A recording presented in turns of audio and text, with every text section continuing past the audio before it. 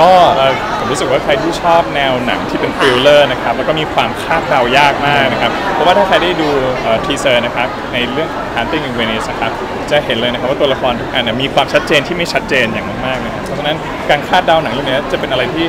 มีการพลิกไปพลิกมาอยู่ตลอดเวลา ซึ่งตัวผมเนี่ยชอบมากนะครับ แล้วก็อย่างปัวโรต์นักแสดงที่เป็นนักสืบในเรื่องนี้นะครับ เขาเป็นทั้งผู้กำกับเองเป็นทั้งเอ่อคนเขียนบทเองนะครับเพราะฉะนั้นรู้สึกว่าเออเป็นอะไรที่น่าตื่นเต้นมากที่จะได้เห็นนักแสดงคนหนึ่งเนี่ยทำหน้าที่ที่แบบหลากหลาย แล้วออกมาได้สมบทบาทขนาดนี้นะครับแล้วก็มีนักแสดงที่ได้ออสการ์อย่างมิเชล โหย่ว น่าติดตามมากๆครับเรื่องนี้ใครที่ชอบความลี้ลับอะไรที่มันเหนือธรรมชาติก็จะได้เห็นในเรื่องนี้ด้วยนะครับยังไงก็วันที่ 14 กันยายนนี้นะครับฝากทุกคนด้วยนะครับผม A Haunting in Venice ทุกโรงภาพยนตร์ครับ โอเคโอเคอะเข้าเรื่องเลยละกันได้ ค่ะอะไอ้กับซีนเอ่อจุ๊บมือถือนี่มันยังไงทำปากจู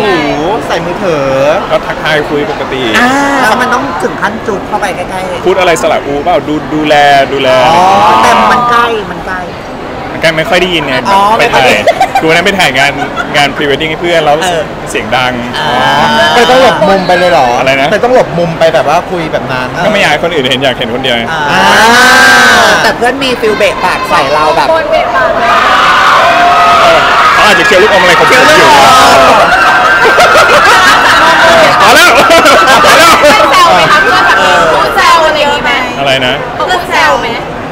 แซวเหรอ ก็นั่นแหละผมก็ได้เห็นบอมทุกคนเนี่ยเออหลังหลังจากที่คุยเสร็จเขาไม่ได้แซวอะไรไม่ได้แซววันนั้นวันนั้นคือคือเพื่อนรักที่สุดของผมในชีวิตเนี่ยกำลังจะแต่งงานวันที่หนึ่งตุลานี้ อ่า วันนั้นก็แบบเหมือนเขาขอให้ช่วยทำเอ่อถ่ายพรีเวดดิ้งอะไรอย่างเงี้ยพวกผมก็เอาทีมของผมไปช่วยกันทำอะไรอย่างเงี้ยนั่นแหละ คิดคิดว่าเราจะโดนแบบเก็บช็อตนี้ออกมาเอ่อให้แฟนๆ ให้แบบสู่สายตาชาวโลกไหมคะ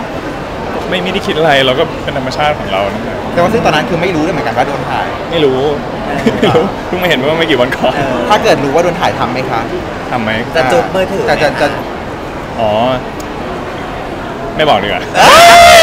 มันเป็นปกติอยู่แล้วต่อหน้าพ่อต่อหน้าเพื่อนอะไรอย่างงี้เราไม่ก็ไม่ไม่ได้คิดอะไรเลย ไม่ได้ไม่ได้คิดว่าเอ้ยเราต้องทำนู่นทำนี่อะไร ก็ใช้ชีวิตให้เป็นธรรมชาติเนี่ยเออกลายเป็นว่าคนก็แบบว่าแซวเราเป็นแบบพ่อหนุ่มคลั่งรักไปแล้วอะไรอย่างเงี้ยทั้งอยู่แล้ว โอ้ก็ก็ถือว่าเป็นคำชมแล้วกันที่ติดตามพวกเราก็ขอบคุณมากๆเลยนั่นแหละครับผมเขินครับเปลี่ยนเรื่องไหมครับเออมันมันมันมีเรื่องเดียวเลยค่ะเรื่องนี้เอออันนี้คือเป็นที่ทริปเอ่อไปไปเกาหลีไหมคะหรือว่าหรือว่าใช่เขาเขาเพิ่งไปถ่ายโฆษณาที่เกาหลีก็เพิ่งกลับมานั่นคือกี่วันอะเขาไปเหมือนไปสามประมาณสามวันใช่ก็ไปไปถ่ายโฆษณาที่ที่เกาหลีก็เอออยากให้ติดตามนะผมว่าน่าจะออกมาดีมากๆเลย ก็เป็นงานที่เออเฟิร์นเขาก็ตั้งใจมาก จริงๆเวลาไม่เจอเขามันต้องวิดีโอคอลกันทุกวันเลยนะคะได้ไม่ก็โทรคุยบ้างบางวันก็ไม่ได้คุยทำงาน ผมก็ทำงานทั้งคู่อย่างเงี้ยครับนั่นแหละ ไปรับด้วยวันนั้นวันนั้น flight เขา delay ห้าชั่วโมง delay ห้าชั่วโมงขอืองมก็เลยเรากลับบ้านเหรอก็ก็เลยแบบเออเขาขอให้ไปช่วยรับก็ก็ไปได้ เพราะว่าเราก็ถ่ายละครเสร็จเหมือนกันอืม นั่นแหละแค่นั้นเลย ไม่มีอะไรมากกว่านั้นเลยครับผมก็ดูแลเป็นอย่างดีเนาะใช่ครับ ดูแลกัน ใช่ เดี๋ยวว่างๆอาจจะมาดูเรื่อง The Haunting in Venice ด้วยเออ ที่โรงภาพยนตร์ SF อะเล่นเล่นเล่นร่วมงานกับพีพีอ๋อโอพูดได้แล้วเนาะใช่ไหมเพราะว่าพีพีโพสต์รูปแหละ ใช่ใช่ก็ใช่เออได้มีโอกาสเป็นแบบส่วนเล็ก ๆ น้อยๆของของ MV ซึ่งพีพีก็ตั้งใจทำมากครับก็เรื่องนี้เขาเอามาทำเป็น short film ด้วยชื่อว่าเส้นเรื่องเดิมก็เอ่อเดี๋ยวจะมีงานเปิดตัวคาดว่าทุกคนจะได้ดูวันที่ 13 นี้ครับก็ เป็นยังไงเป็นยังไงบ้างตอนที่รับการติดต่อกันมาดีใจ คือเอาจริงๆนะ ตอนที่เราเห็นว่าเป็นพีพีเราก็โหอยากทำงานอยากร่วมงาน แล้วก็ดีใจที่เขาแบบเออเห็น อยากให้เรามาเป็นส่วนหนึ่งในงานสนุกๆของเขาเนี่ยเพราะปกติเราเราก็จะอยู่แต่บิวกิ้นนานๆจะได้เห็นเห็นพีพีคุยด้วยกันสักทีเนี่ยแล้วก็ไปเจอก็น่ารักพีพีแบบเฮ้ย take care ดีมากเลยแล้วก็นิสัยดีอะแบบน่ารักมากๆเลยประทับใจมากๆ ก็ผมเชื่อว่าน่าจะเป็น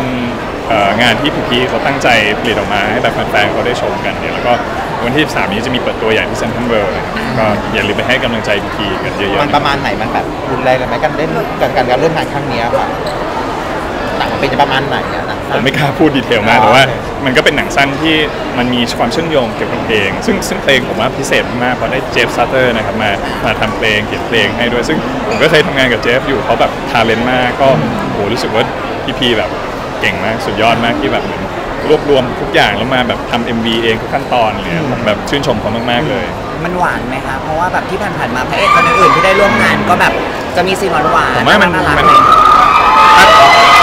ถ้าตามที่ผมแสดงมามันก็จะมีมูดความน่ารักน่ารักอยู่อะไรให้ทุกคนได้ติดตาม ซึ่งซึ่งผมค่อนข้างประทับใจเพลงอยู่แล้ว เส้นเรื่องเดิมก็อยากให้ทุกคนได้ดูกันเยอะๆติดตามกันเยอะๆแชร์กันเยอะคนถ้าได้ดูจะกรี๊ดไหมคะเพราะอิจฉาบางคนจะอิจฉาพีพีด้วยอ๋อไม่ไม่มั่นใจเลยเราก็ทำหน้าที่ของเราให้ดีที่สุดแล้วก็ตอนนี้เอาใจช่วยเขาเต็มที่ว่าแบบเอออยากให้คนติดตามเขาเยอะๆอยากให้แบบเพลงเขาประสบความสำเร็จดังๆเปรี้ยงๆนอกเมืองไทยไปเมืองจีนอะไรอย่างเงี้ยก็เอาใจช่วยพีพีมากเพราะเขาตั้งใจมากๆเลยครับ